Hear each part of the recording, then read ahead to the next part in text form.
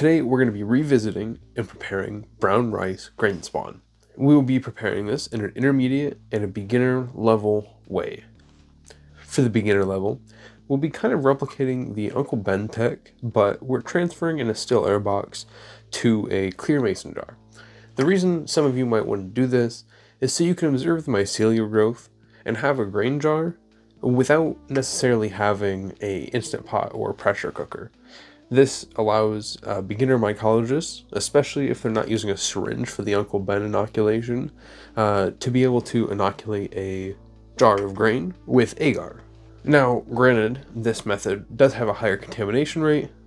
However, if you are careful, use a lot of isopropyl alcohol, and a still air box, you can achieve good results.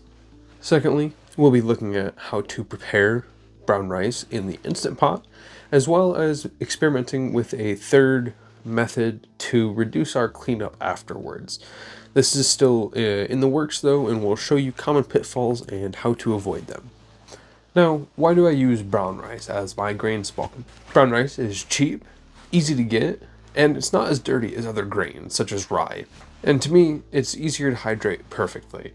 Uh, the popcorn tek or birdseed are more expensive, uh, and birdseed is uneven, which can lead to problems with hydrating all the grains properly. While brown rice isn't the fastest grain to colonize, it is second or third place and produces some of the most robust fruiting bodies. Let's go ahead and get into the still air box and start with the Uncle Ben Tek. Now to start our Uncle Ben transfer, we're going to start by spraying everything down with isopropyl alcohol and flame sterilizing your tool. I've already done this outside of the still air box, so everything is clean on the inside.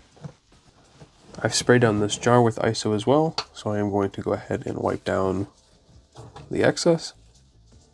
Now, you want to make sure that you try and do this in a still air box. However, being inside of here does not mean that we're not going to run into contamination. I like to spray down my still air box from the top down with isopropyl alcohol so the particles can grab any debris in the air and pull them down to the surface. You want to make sure to move gently in here as well to not create huge currents. Now with our Uncle Ben's rice, we are going to smash it up to kind of loosen the grains. You really just want to break all those kernels individually. You can use any brand of ready rice. Uh, generally, the off brands tend to work much better. Now we're going to go ahead and prep our jar. We are going to keep this lid on for now until we get this open.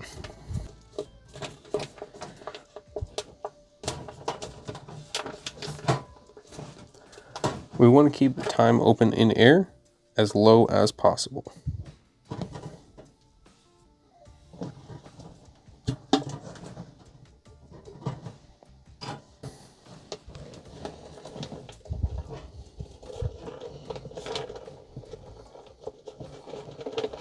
And usually fill these jars about three quarters of the way full.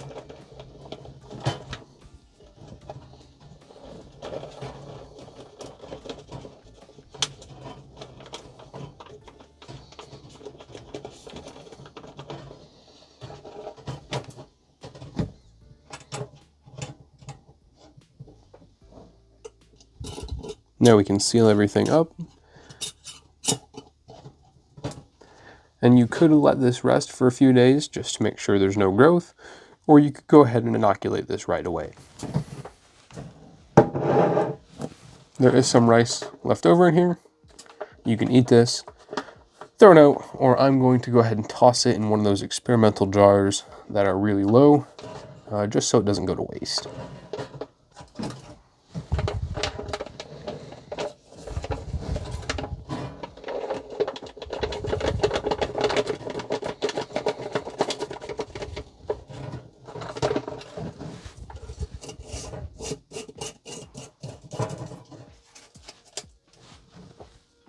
Beautiful. And for our intermediate tek, let's move to the stove and start boiling our rice for our grain jars. Now let's talk about some common pitfalls and how to avoid them. Overhydrated rice can lead to popped kernels when you pressure cook the entire thing. These popped kernels are incredibly prone to bacterial contamination and not what we want to inoculate. While undercooked rice just kind of leads to slower mycelial development, it's definitely more manageable. We want to aim for firm, slightly hydrated grains with none of them being popped in the jar.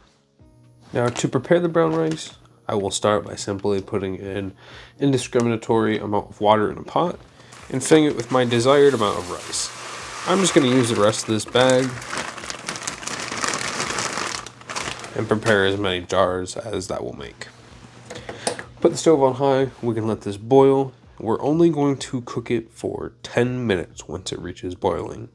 We want to be sure not to overhydrate the rice. We're going to set our timer for 10 minutes starting now. And once this is done cooking, we can move it to a strainer, rinse it under cold water to stop the cooking, and let it rest for 15 minutes to air dry. This will ensure that we have perfect hydration. We can now strain our rice, rinse this under cold water. This stops cooking and rinses all of the starch off. Now we can let this sit here for the next 15 minutes to air dry. While we're waiting for the rice to dry, let's take a look at the experimental method I'm trying with loading everything into a jar. This first jar was a one part rice to one and a quarter part water, which definitely filled the jar too much. And as you can see, all of these kernels have popped. So no good. Our second attempt would be this guy, which I did about a one to one ratio. And I cooked the rice for an hour and 20 minutes. Uh, the first one I did an hour and 45 in the Instant Pot. Our third attempt, which is the most successful looking, was only a third cup of rice to probably about the uh, third cup, about halfway to three quarters of the way full. Uh, so not a one-to-one -one ratio. Uh, but this one did cook the best.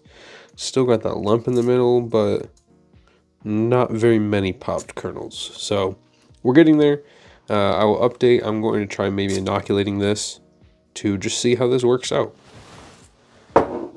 Now with our rice air dried, we'll go ahead and move it into our mason jars along with our modified lids. These are just simply hole punched with RTV silicone for a DIY self-healing injection port and some micropore tape double layered up over the other hole for fresh air exchange.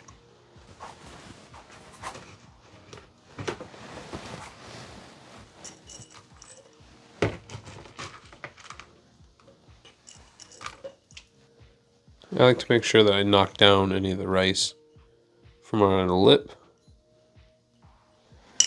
and fill them about half to three quarters full.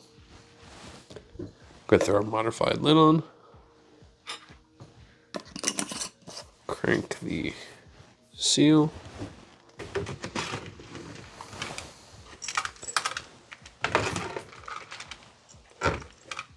This wasn't that much rice, so the second and third one I'm going to fill only about halfway. All three of these are ready to be covered in aluminum foil.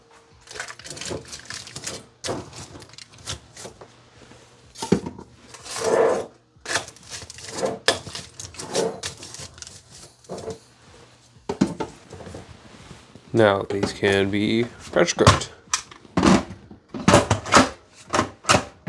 Simply choose your favorite option. I'm going to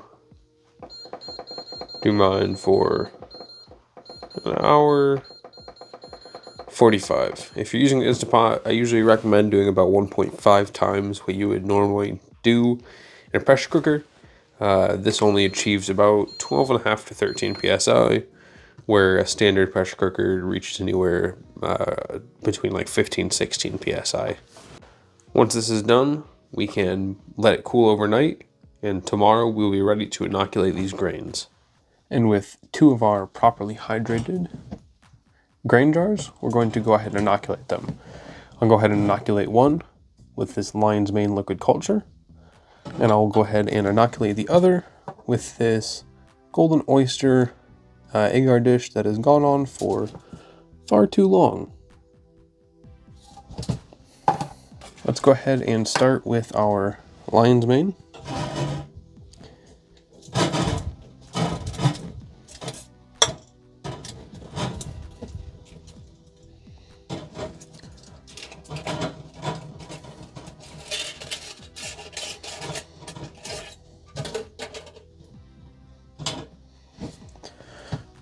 We're going to go ahead and flame sterilize the needle tip. Let this cool down briefly, and we can withdraw some of our lion's mane liquid culture. Give that a quick shake.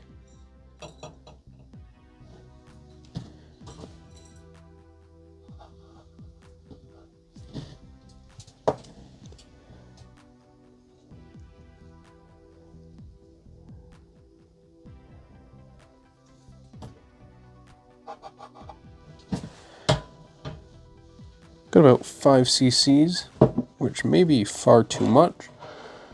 But we'll go ahead and inoculate it into this grain jar.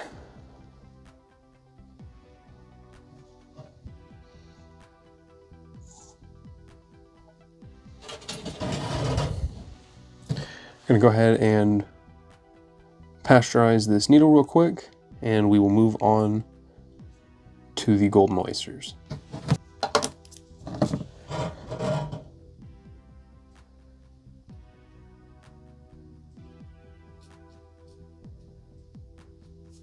Now we can move on to transferring our golden oyster.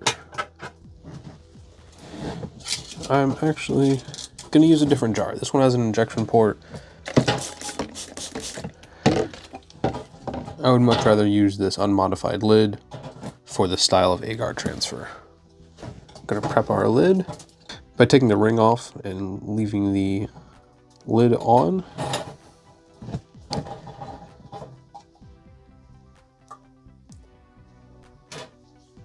I'm just going to transfer this really big piece which has this growth on it.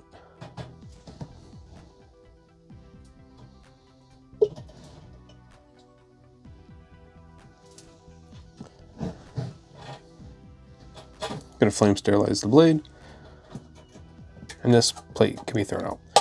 I did that a little dirty um, I could have cut that up into smaller sections and such, but I'm not too confident in this grain jar. And likewise with the genetics of this oyster, I have some other plates that are going that I'm more confident in transferring them to better grain.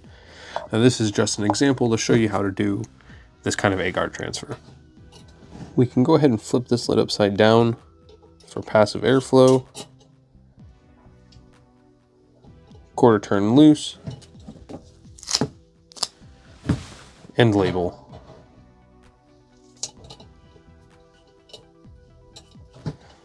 Now both of these are good to go into incubation and monitor their growth.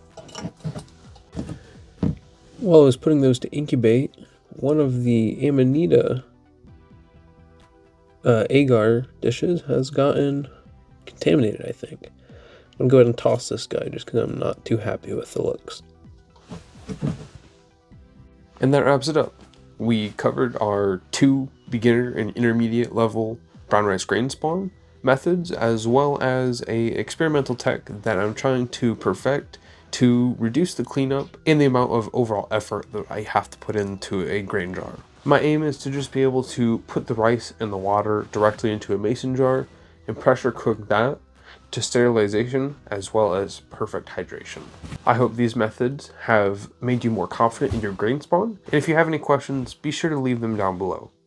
Thank you very much for watching, and I'll see you in the next episode.